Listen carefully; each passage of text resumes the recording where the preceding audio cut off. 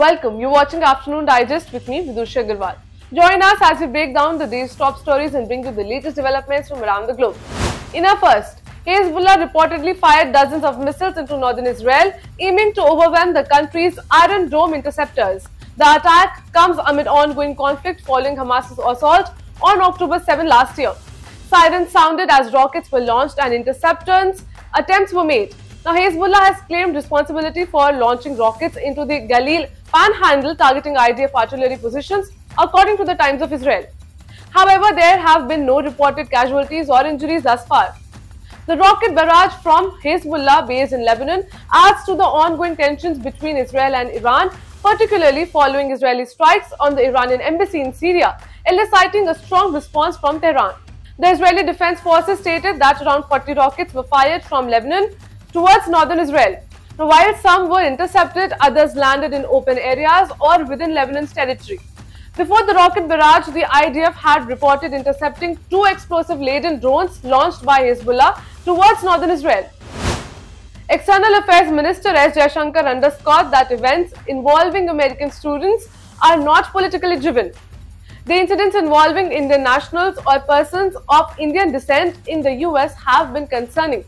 In the initial months of 2024 alone, reports indicated that the deaths of up to 5 to 6 Indian students were in different circumstances. However, the MEA condemned the recent deaths of Indian students in the US today, attributing their unfortunate circumstances to various factors.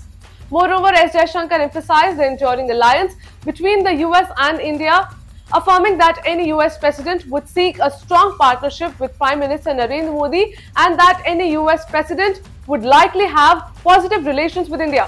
Whoever becomes the president of America will maintain good relations with India as America is and will always seek a partnership with PM Modi. Jaishankar remarked during an interaction with students in Pune at the launch of the Marathi translation of his book, Why Bharat Matters. Jaishankar also lauded the East-West Center's role in bolstering ties between the US, Asia and the Pacific Islands. UN experts have voiced concern over the ongoing lack of protection for young women and girls from minority communities, particularly Christians and Hindus in Pakistan. They emphasize the country's need to uphold its obligations under relevant international covenants. Christian and Hindu girls remain particularly vulnerable to forced religious conversion, abduction, trafficking, child, early and forced marriage, domestic servitude and sexual violence, the experts said.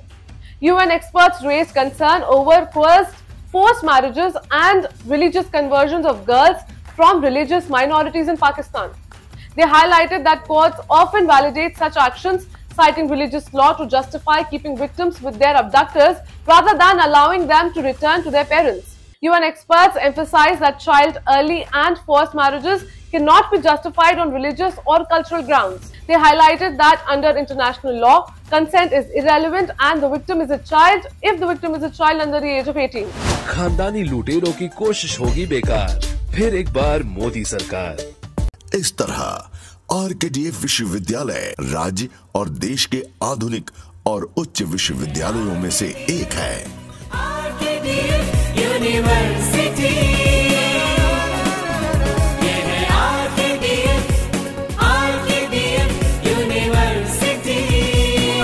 RKDF University, a world-class university. Education glorifies nation.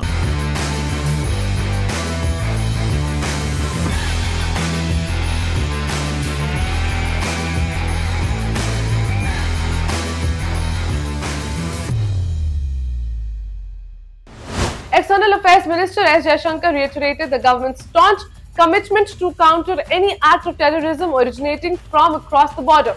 This statement followed a report in The Guardian alleging that India's external intelligence agency, RAW, conducted operations inside Pakistan to eliminate wanted terrorists at the request of the government. Drawing a parallel with the previous Congress-led UPA government at the centre about its response to the 26-11 terror attacks in Mumbai.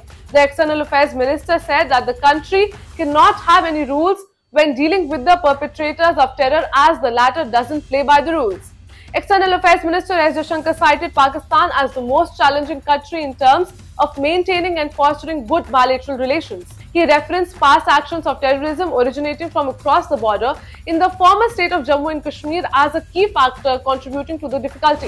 The Defence Ministry has initiated a significant tender to Hindustan Aeronautics Limited seeking the acquisition of 97 made in India LCA Mark 1A fighter jets anticipated to surpass the rupees 65,000 crore in value. This marks the Indian government's largest order for indigenous military hardware to date. The Defence Ministry recently issued the tender to Hindustan Aeronautics Limited, also called HAL, granting them a three-month window to respond.